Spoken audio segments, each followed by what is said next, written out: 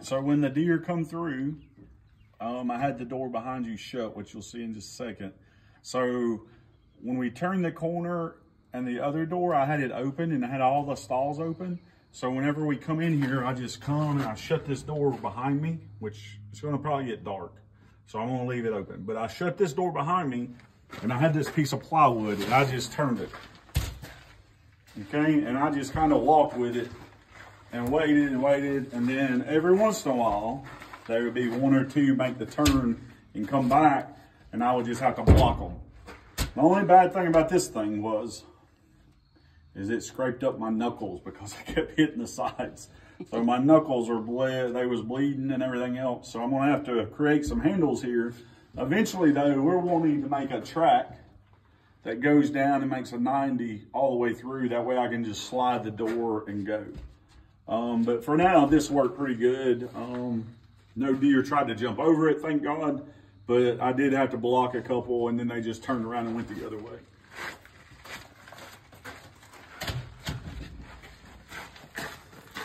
So yeah, so they, uh, this door was shut.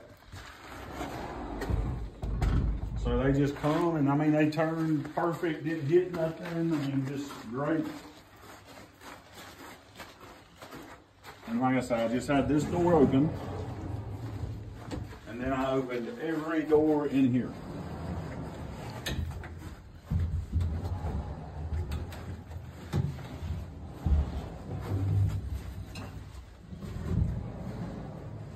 So they have both sides to go on.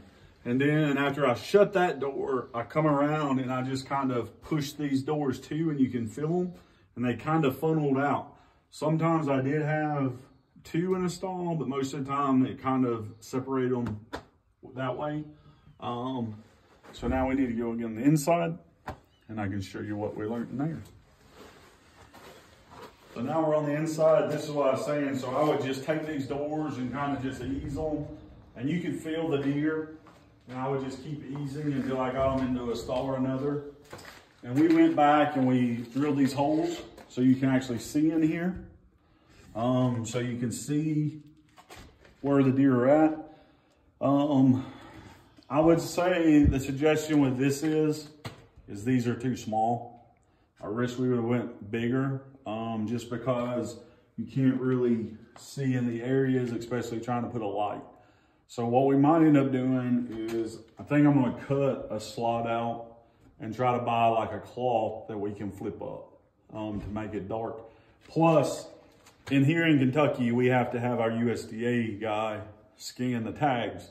So like if they was in the stalls, he could scan them really a lot easier and be able to look at that um, easier because when we run them up and we went in the chute, you know, it was kind of hectic, him trying to do the scan up front, me vaccinating, um, all that stuff. So that's one thing we're gonna fix. Um, but everything else I thought were great. I mean, we could have one, two, three, four, five, six, seven, eight. Eight in here, and then you can have them on the ramp in the AI box, and then, you know, leading up.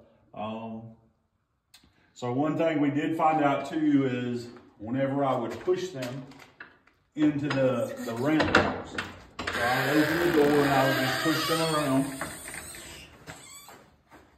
And then whenever they got in the AI box, we would shut this, okay?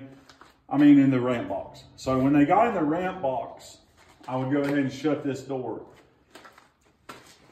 But I thought it went a lot smoother if we opened both of these doors, not just, so the AI box, you could open it, let them get in there, then you could close this.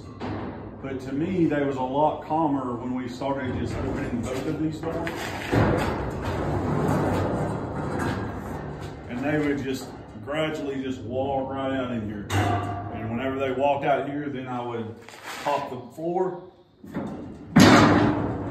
and they would be in the trap and then we'd get up here and work on them.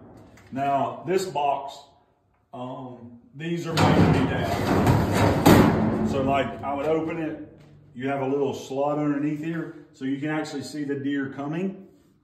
And when they would get in here, that's when I would hit that, I would close this,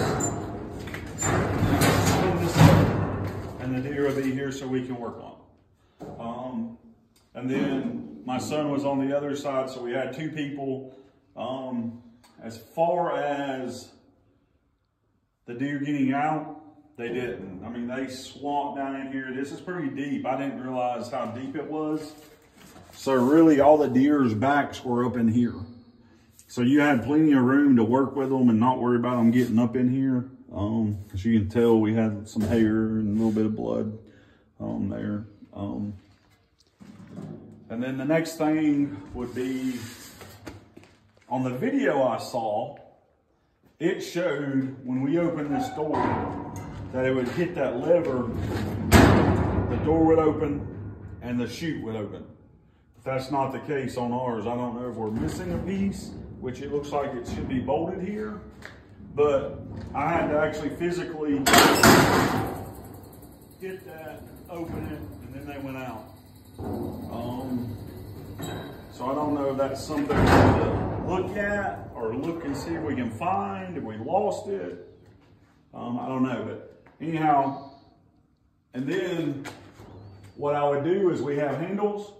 Michelle can show you. So if I want to put deer back in the farm, I would just pull this handle down and they would walk right out of it. I was totally shocked how well that worked. Because as soon as I opened that door and let them out, they just walked right out. Didn't run, didn't hit walls in there or nothing. Just gradually walked out. So that was some of the stuff we learned. I really like this chute though. I mean, it's, you just push that up, pull the floor up, push the lever back, bring the doors down. We're ready for the next one. So, um, pretty good. So let us know your thoughts. You know, we, uh, Got some whiteboards in here. yeah, I put up some whiteboards. We got our deer farm in here. Made a couple little shelves here. Um, we got to think of wherever we want to put some other things, but we're getting there. Right now, we still got trash in the middle, but um, we're going to put a table or two there and be able to have storage. So, yep. Make sure you subscribe if you haven't. Like the video. If you have any thoughts, any suggestions, or any questions about how we did this, let us know. And we appreciate you watching.